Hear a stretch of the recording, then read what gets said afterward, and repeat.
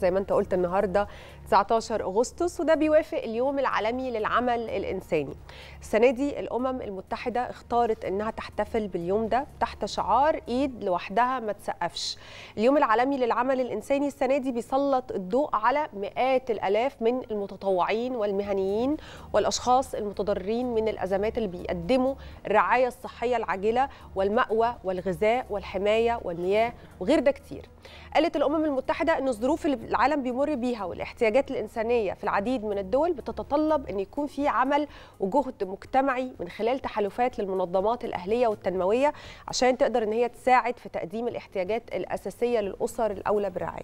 عجبني قوي اختيار شعار إيد لوحدها ما تسقفش وإيد لوحدها ما تسقفش وعشان كده برضو يمكن إحنا ملتفتين للأمر ده من زمان يا بسنت لأن أطلقنا أثناء الاستراتيجية الخاصة بحقوق الإنسان. أطلقنا إن هيكون عام 2022 هو عام المجتمع المدني. عندنا في مصر وبمناسبه بقى عام المجتمع المدني وتحالفات المنظمات الأهلية إحنا هنا في مصر عندنا يمكن تجربة هي تجربة مهمة انطلقت بشكل رسمي في شهر مارس اللي فات وهي تجربة التحالف الوطني للعمل الأهلي والتنموي. التجربة دي بتضم يعني في متنها أو بين طياتها 24 منظمة أهلية ده بجانب مؤسسة حياة كريمة اللي يمكن قامت بدور كبير جدا أو التحالف ده قام بدور كبير جدا في الفترة اللي فاتت في دعم منظومة شبكات الحماية الاجتماعية بالإضافة لتقديم الخدمات لأهالينا في القرى الأكثر احتياجا. علشان كده السيد الرئيس عبد الفتاح السيسي في حفل إفطار الأسرة المصرية في نهاية رمضان الماضي وجه الحكومة بأن هي تدعم التحالف ده ب 9 مليار جنيه 9 مليار جنيه علشان يكون في عندنا دور تنموي دور خدمي يقدر يقدم خدمات فعلا حماية اجتماعية للمواطن المصري. كمان يا أحمد في أول شهر أغسطس اللي إحنا فيه سيادة الرئيس وجه بدعم إضافي للتحالف بقيمة مليار جنيه. ده عشان إيه؟ عشان يبقى في مجموعة دعم 10 مليار جنيه عشان التحالف الوطني يطور العمل الخيري اللي بيقوم بيه وينتقل من فكرة المساعدات العينية لنشاط تشغيلي. طيب ده معناه إيه؟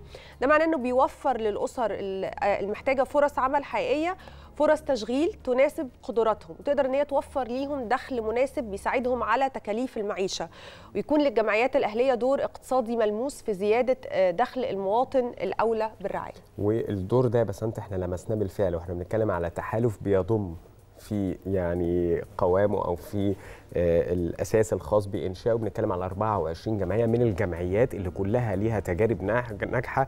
كلها جمعيات يمكن كان ليها دور بارز في مساعدة محدودي الدخل في كل القرى والمناطق الأكثر فقرا واحتياجا. علشان كده بيكون في حالة من حالات التنوع في الخدمات اللي بيقدمها التحالف ده.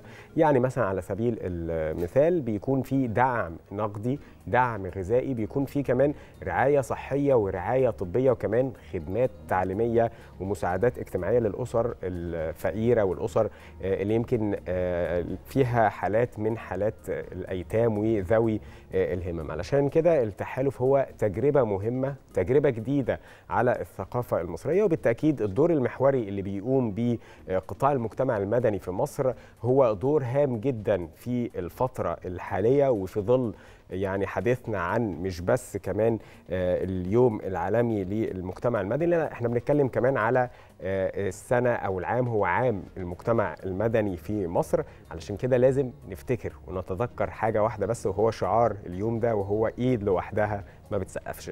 بنصبح على حضراتكم صباح الخير يا مصر.